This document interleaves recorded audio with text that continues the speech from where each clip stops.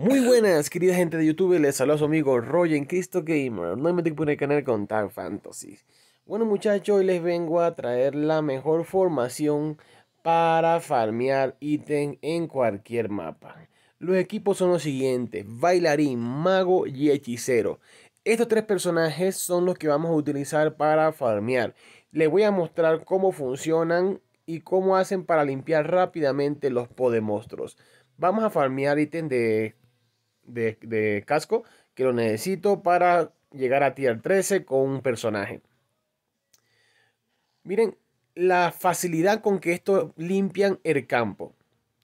¿Por qué son muy buenos? Porque simplemente el hecho de que el, el mago, el hechicero, tiene un daño en área junto con el daño en área que hace la hechicera junto con el daño en área que hace la bailarina. O sea, miren, miren, desaparecieron todos los monstruos de un solo paso.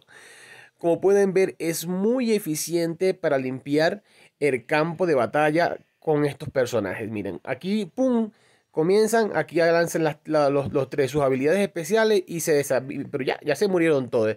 Lo único que quedaron fueron los más fuertes.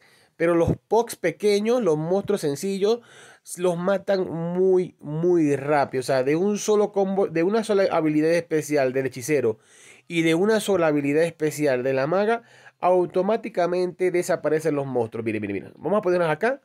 Vamos a agruparlos en un solo punto. Y aquí ven, miren, miren. ¡Pum!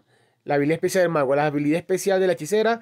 Y ya se murieron todos. Lo único que, el único que queda es el, el, monstruo principal, que es el más grande. Ve aquí. Aquí lo vamos a centrar otra vez.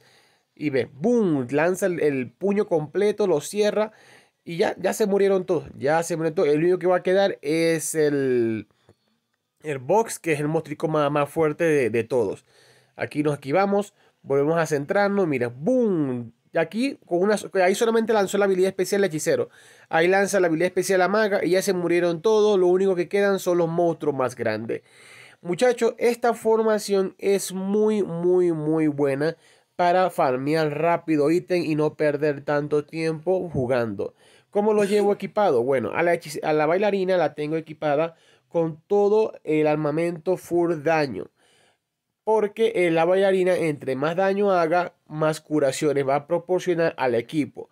Eh, a la maga la llevo también full daño con diferencia del armor que la llevo con vida porque no tengo el armor de...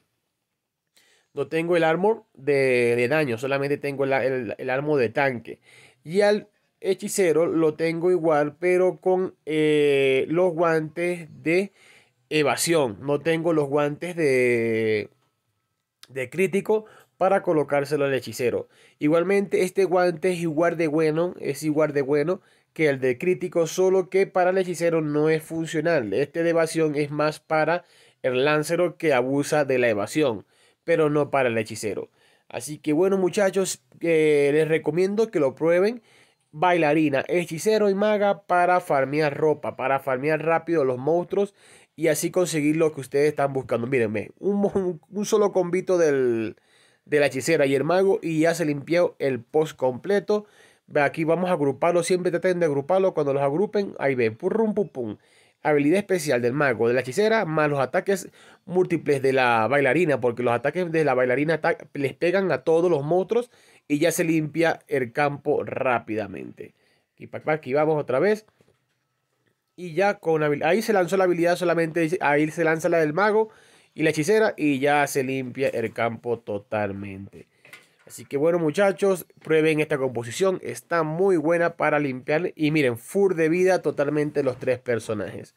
Así que sin más nada que decir, se despide su amigo Roger en Cristo Game y nos vemos hasta la próxima.